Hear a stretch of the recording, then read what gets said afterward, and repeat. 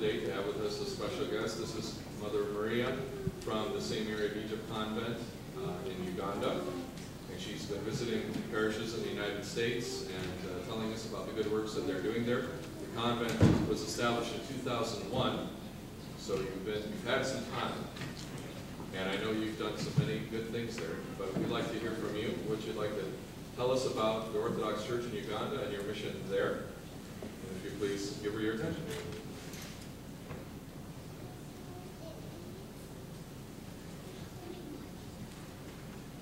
Thank you so much, Father. Um, Christ is in our midst and he will always be now and forever to the ages of ages. Amen. As you have heard, um, Abbess Maria, the first sister and the founder of the first Orthodox monastery in Uganda. Our monastery is dedicated to St. Mary of Egypt, and currently we are three sisters, five novices, and 16 orphans who are under the care and guidance of the monastery. Um, our monastery was established in 2001 as you heard from Father, but the foundation stone was laid in 2011 on 13th of March by His Beatitude the Patriarch Theodoros II of Alexandria. We are under the Patriarchate of Alexandria. My bishop, and at the same time, the Yeroda is called His Eminence Metropolitan Jonah Lwanga is a Ugandan man, and he has done a lot, and Orthodox says is moving at a very high speed in Uganda. Uh, currently, if I'm not mistaken, we have like 57 priests, and even so many churches are built, and uh, even Orthodox believers, we are between 30 and 40,000 believers in Uganda. But the population in Uganda is like uh, 47, between uh, 37 to 40 uh, millions. So I'll give you briefly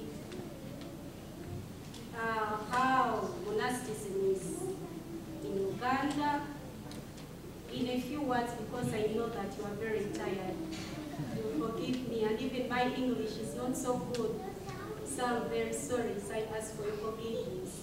Well, you will not understand, then Father, I think will help me. Uh, before I go any further, me, I was born in a Christian family. I was a Protestant. And when my father died, my uncle took me. And he was residing in a place where, a nearby place next to Orthodox Church and Orthodox school. We used to, when I went for further studies, because by then I lost my dad, and my mom had interest to push me forward so that I can complete with my studies.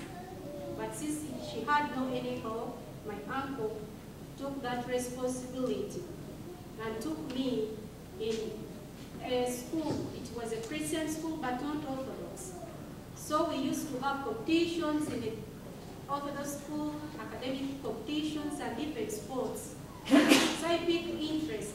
That school had a very good church, and it was dedicated to St. Nicholas of Myra. So we used to go for services when we are uh, having competitions. We had to go for vespers in the evening, and even probably in some liturgies to attend. I picked interest in that. And they had a very big library where you could find books and read about Orthodoxy. So I found myself that I was really lost. Even if I was a Christian, a Christian, And I thought in myself that really this is a true region uh, called my mother church. So I wanted to change the region to become Orthodox. And even uh, to change the school also to be in good contacts with uh, Orthodox church. So I told my uncle, and the uncle said, I have no money, what like that. So me, he told me that may have no any problem if you have anybody who can help you, then you can go, I, you have my blessing.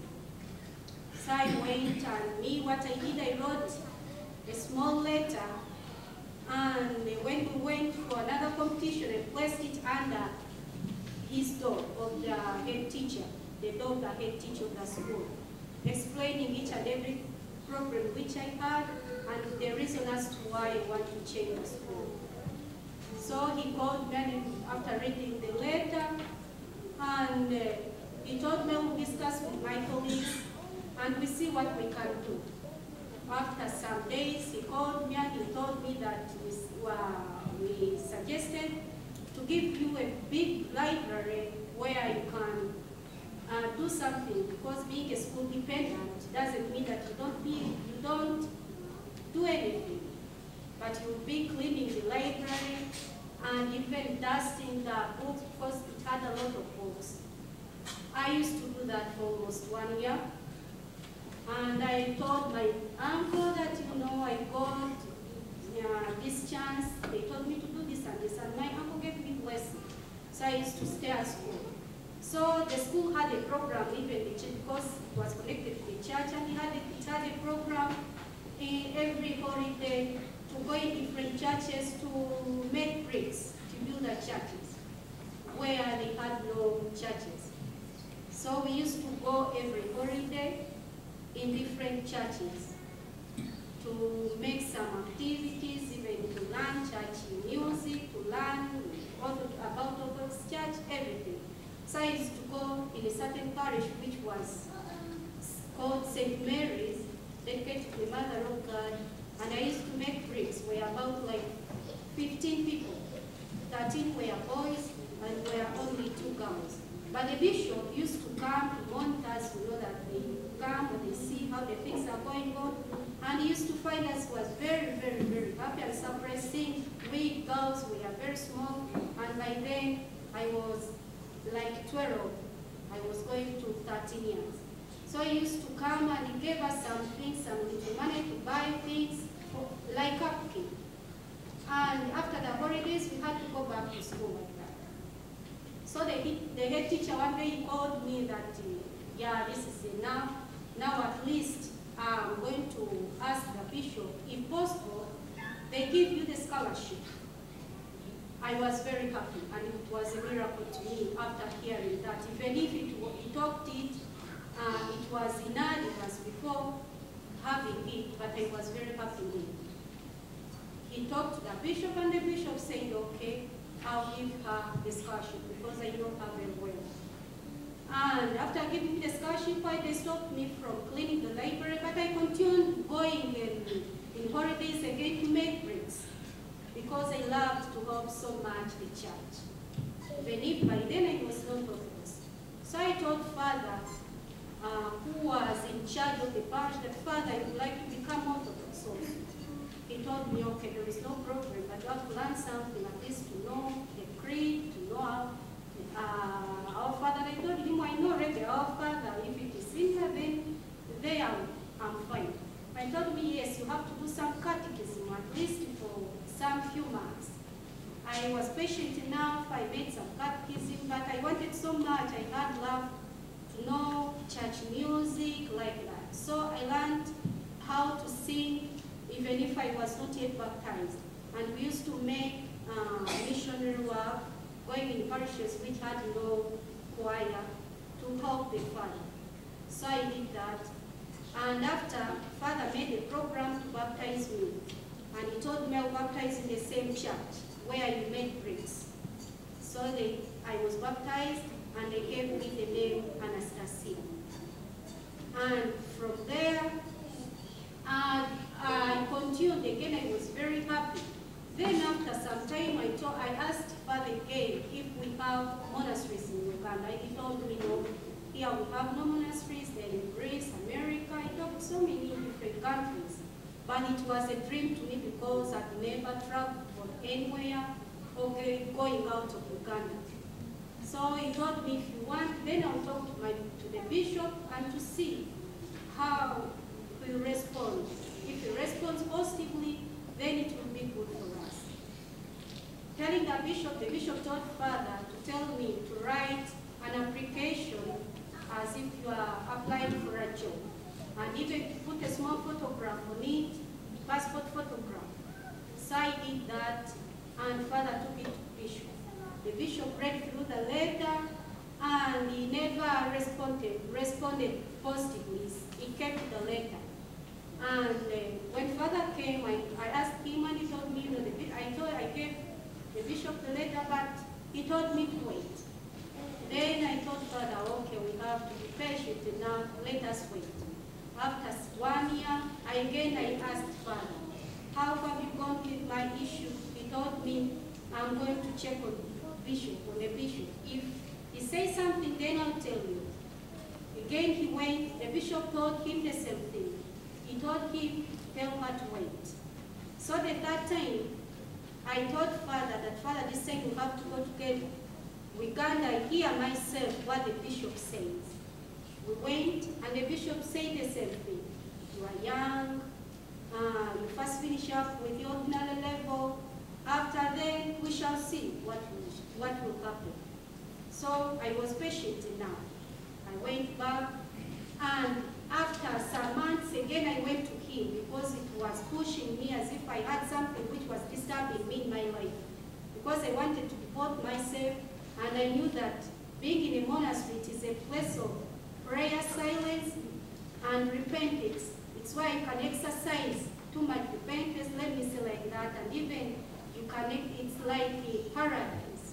So I told him, I went again to him and I asked him, Bishop, uh, I've come to know how far you have gone with my issue. And he told me, yes, you are still young, you know monastic life, you know that life, it is very hard life. Being, you know, what's being a nun, here we don't have monasteries, they are abroad and they have no access where you can take you one. And he told me, you keep on waiting, because if you really want to become a nun, then you have to be patient enough. So I went back. Again, I went to him after two months. I told him, Bishop, I've come back. I told, I told you to, to wait. So I went and told my friend, I had a friend, and I told her that, you know, the bishop is telling me like this, like this. He told me to write an application, I made it. I've gone to him several times and he always tells me, wait, wait, but I'm fed up this time. So my friend told me, yes, even me, I wanted to become a nun. Actually, we go together and we see, we create a program, then the solution will come. Then that time, we went with each and everything of ours, mattress, buckets, blankets, what, and went to his office to create a program. We went to him, and he, he, saw us, he saw us from very far, because he knew I used to go to him several times, and he never, uh, he saw us from very far, but he was not, he didn't, his face had no smile, what, and he told us, why do you want, we got scared, and we told him, Bishop, we need only your smile. He smiled, he laughed, and he told us, okay, come. We entered, and he told us, okay, this time I will not let you go. And he asked my friend, you also want to become a nun? And she said, yes, Bishop, with your blessing. So he called a certain priest in a certain parish, whether he has a place where they can put us. The priest was very happy because we were yearning so much for monasticism to come in Uganda, but nobody could come up uh, to set up or to, establish or to say to the bishop that I want to start this. And uh, they, when we went to that parish, they gave us a very small room where we used to be for eight months. And it was very small. And we told Father that, Father, actually this room is too small. And he said, yes, I'm seeing, but I have nothing. Then we told him it's better at least you to rent something or to find us another small house across to another room.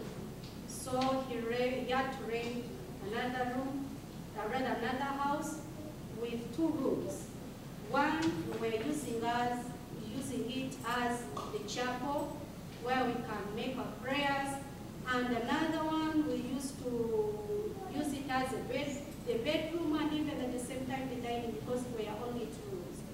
We lived there at the house. The house were doors were not well fixed, plus even the windows, the doors were halfway put. Water could come, snakes because the place was too bushy. But we had a very big stick. We used to kill snakes. And we got even fond of them. We were not fearing. We came to, it- uh, to the an extent of not fearing because it was a day-to-day activity, killing, you know. So we used to do that all the time. And we kept on praying. When it rained at night, we had to stand up to remove the mattress until we wait until the rain stops because we had nothing to do. So we discussed among ourselves that really this life is very hard. Maybe we go to the bishop and we told him that the life is hard. And we said no. Since we want to become nuns, uh, we have to exercise, uh, to devote ourselves actually and exercise uh, patience. We have to be patient enough and we have to keep on praying. So we say, look, we, we, this is the, the struggle continues. So we again, we spent in such situation for eight years without seeing any nun, Orthodox nun, without seeing any uh, monastery of Orthodox. But there were so many Catholic monasteries, there were so many nuns, uh, because of most of the people in Uganda are Catholics. So all the time where you go, you find a Catholic nun like that. But we used to pray. People used to come to visit us to see ah, this place, what, what, like that. So we say that maybe the bishop, since he used to tell us wait, wait, wait, he was seeing, he was, he wanted to see how much we love um, monasticism, how much we love monastic life. So we have to show and we have to be smart and we have to be patient and to keep on praying so that we can fulfill our goal. So we waited and after eight years, uh, we of some sisters from Korea, they were from Greece, who used to do missionary work in Tanzania. They used to come and the bishop learned about their coming. He was very happy and wrote a letter to them whether they can stay with us for some time. We stayed together for three months when they came uh, at the metropolis for three months, and we learned, they taught us how uh, we conduct, they conduct services, because we are fidgeting all those life, all those years we are fidgeting with life, because we have never seen anything. But they taught us how the, the services are conducted, how they do, sisters do their things in the church, the prayer roll, um, everything, okay, they tried within what they managed in those three months. So from there, they asked, we, we asked them whether we can be sub-monastery or the sub-convent to them. And they went to tell their abbess, after telling the abbess, the abbess said that it is impossible for us, we are doing missionary work. And the countries where, where they were going, it was Kenya, Tanzania, and other countries, not actually in Uganda. So one time, uh, a certain doctor came in Uganda and he phoned us in that same parish. He was very happy to see young girls devoting themselves to God. And he said, okay, I know a certain monastery in Greece. I'll talk to the abbess well, and to go and you see, to be in that life you live together, you learn some Greek like that. So he went and talked to the abbess. The abbess was very happy. It, the monastery was called Chrysopigi in Chania, Crete. The abbess came uh, for one week. She met us. She was very, very happy seeing us. She talked to us and she said, I'm going to do, try my best so that you go also in my monastery, you come and you see how life is, how we do things, how we pray, how we do everything in a monastery. and everything. You learn also some Greek, you learn sewing, even icon painting. So we went in Greece and we stayed there for one year, another one year as novices. And in the second year, we were tonsured as sisters. Me, I was given the name Maria, and the second sister was given the Maria because the church which where we used to go in the parish where we went, it was Holy Transfiguration. So they said, since you have been going in receiving Holy Communion, praying in that very church, let the second sister take that name, and me, I was given the name of the monastery. So from there, when we came back in Uganda, another girl came and she was also tonsured and given the name Theosemi. Other girls came, so now we have five um, novices and even the orphans, some children, they don't have parents, others, the parents died from the accident, others from AIDS, others, so different kinds. So we had to be with those children. And from there, when we came back, we said that now this we are sisters, this house is not good for us. Let us create another problem to the bishop. We got to him and we told him it's now time to get the proper place or space for us. We went again to his uh, office and we told him, Bishop, this time it's not good to be in this place. And he said, okay, you stay here until I get someone who can help you. There was his father who was coming from Rhodos, also in, from Greece. He came, we used to be with him, to, to look after him, to cook for him, and he was very happy. When he was leaving, he asked us what to give us, and we said, we told him we would like you, if possible, to build us a monastery. So he said, as you know, I don't have money, but I'll do something small for you. I'll put some rooms since we are three sisters, I'll put some three rooms, at least one be with her own room. So he built us the small house where now we are living. Uh, we have three, it has three rooms and one dining, dining, as it's like a called dining room for visitors, and it's where we get our meals also. So we, when we got those novices, we had to fix ourselves because the rooms were very small and we had to stay in one room with the three sisters. Uh, the five novices, we give them one room and even 15 orphans, to rather 16, to be in one room.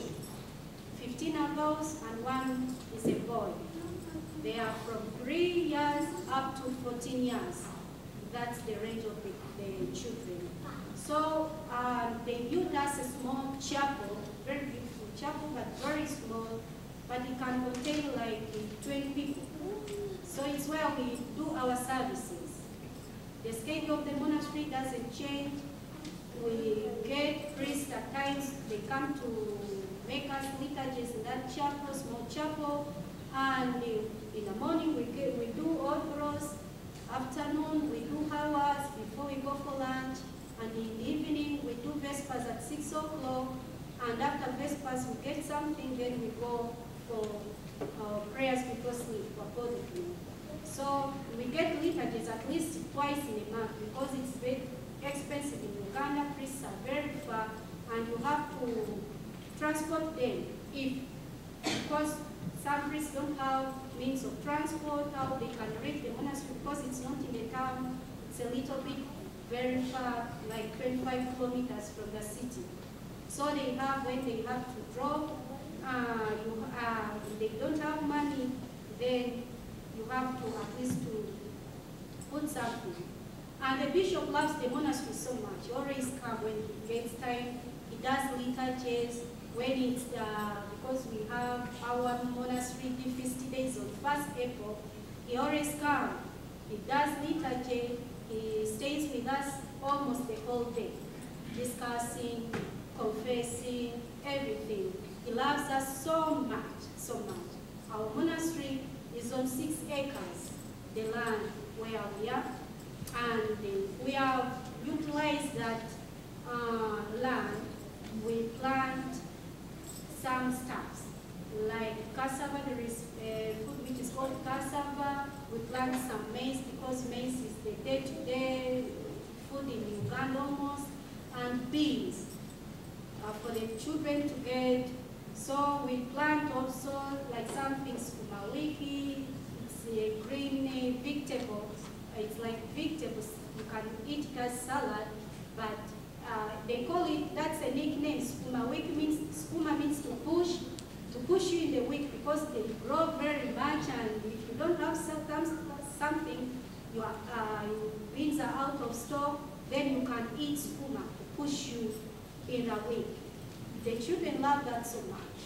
And actually, I'm also very happy because here now where I am, at the monastery, I've learned so many activities and tech- techniques of planting different types of vegetables, even how you can um, put something of fertilize the soil, everything of the soil. So I have interest in, in agriculture, and people love so much. Even the children, they do come. Uh, they love so much to help in the garden and even the sisters. So that's how we are. Thank you so much. I'm very. I ask for your forgiveness where you have not got me, and I welcome all the questions. Thank you so much.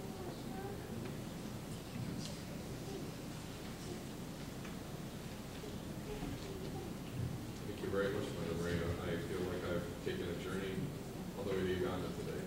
You brought it to life. You brought it to life. Thank you. And um, you are, uh, I'm sure, very happy to receive some donations for the monastery. I saw on your website very clearly cost of different things throughout